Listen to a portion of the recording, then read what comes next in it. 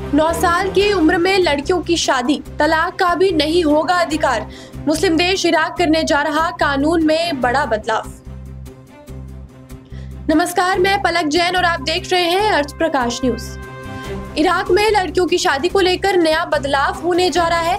नए कानून में लड़कियों की शादी की उम्र को 18 साल से घटाकर 9 साल किया जा रहा है। इराक के इस कदम को लेकर दुनिया के कई देशों में आलोचना की जा रही है।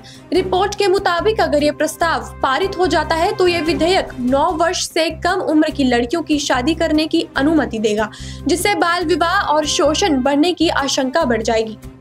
आलोचकों का तर्क है कि ये कदम महिलाओं के अधिकारों को बढ़ावा देने में दशकों की प्रगति को कमज़ोर कर देगा।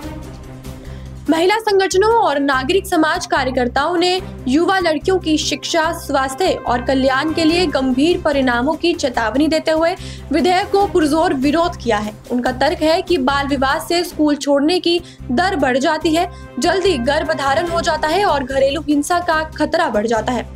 यूनिसेफ के मुताबिक इराक में 28 फ़ीसदी लड़कियों की शादी 18 साल से पहले ही कर दी जाती है।